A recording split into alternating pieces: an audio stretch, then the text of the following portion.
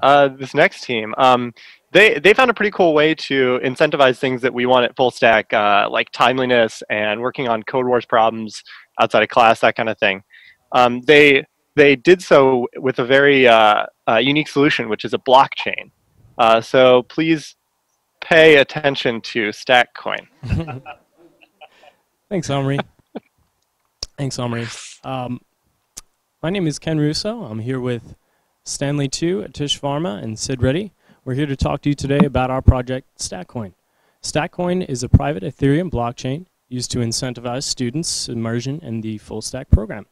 A student will come into class, check in, and in exchange get StackCoin that they can therefore spend on other goods and services like help tickets for workshops that we're working on. Before we delve into the technical details of our blockchain, I'm going to hand you over to Sid Reddy, who's going to go over explanation of our portal. Thank you, Ken. Um, one of the hardest parts of this project was creating a cryptocurrency and a blockchain and making it work. And when we finally made it work, there was tons of data. We didn't know if we should put all of it on the UI.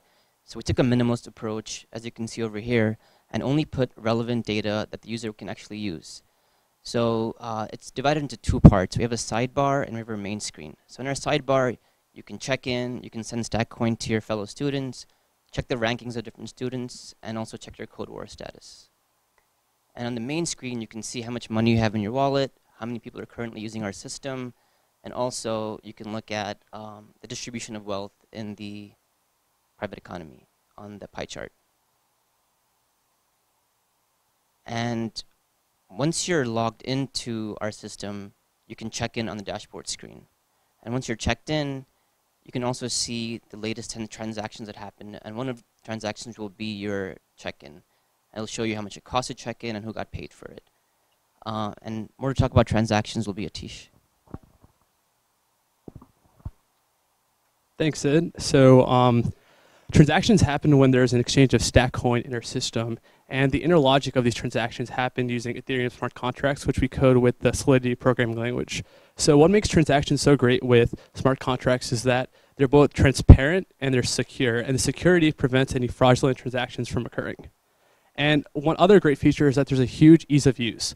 So if you're trying to do a transaction with a smart contract, you can buy property, uh, shares, stock, and money with no middleman. So it's one-to-one, peer-to-peer which makes it very easy for you. Um, another great feature about uh, smart contracts is that not only do they list the specs that a transaction must have, they also enforce it by physically adding this transaction to the blockchain, which again makes less work for you. And this is all as a result of a public ledger.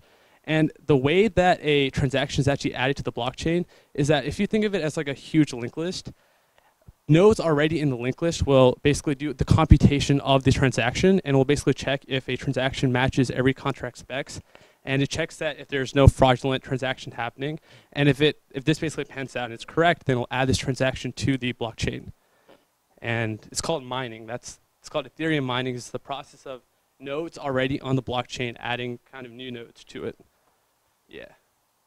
So Uh, we currently have two, our platform supports two contracts. One was already mentioned by Sid, which is a check-in contract. And that's like people have checked in, nodes are going to add you to the system.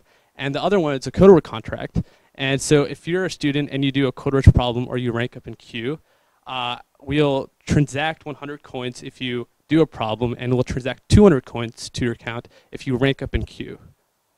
And now here's Stanley to talk about backend implementation and how we What's your tech stack like? Thanks, Aatish. So I'll be giving a brief overview of our tech stack, basically. Um, so in our platform, students can log in, check in, send money to each other, and uh, view information about their wallet through the dashboard page. Our front end is built on React Redux and Web3, Web3 and Redux both serve as places to pull information from, which React uses to render the proper pages on the, on the client's use.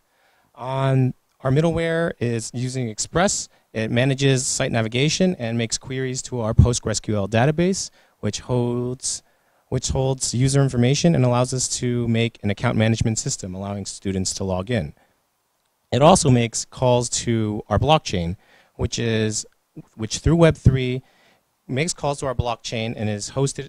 The blockchain is hosted on six Azure servers remotely. Each re- each remote Azure server carries a copy of the blockchain and maintains it, simulating a decentralized blockchain network. Um, each student within our system is tied to one of these nodes. So when one of these students checks in, their node begins mining. So future transactions where another student checks in, they're allowed to mine and gain more currency as a result. This incentivizes students to come in earlier so that they can mine other students' check-ins. They can also, this also adds student check-ins to uh, an immutable public ledger which people can view and see who checked in at what time. Um, this project was pretty difficult because um, blockchain documentation is pretty bad. It's uh, that's not a that's not a joke actually. Yeah, it's uh, it's really new. So I was looking at documentation from like three months ago, four months ago, and it's not relevant anymore. Pretty much. Um, I had a really fun time with my team working on it. Uh, we're planning on deploying to stackcoin.tech within the next week, and I hope you take a look at it and. Uh, I hope this piques your interest in cryptocurrencies and smart contract based apps.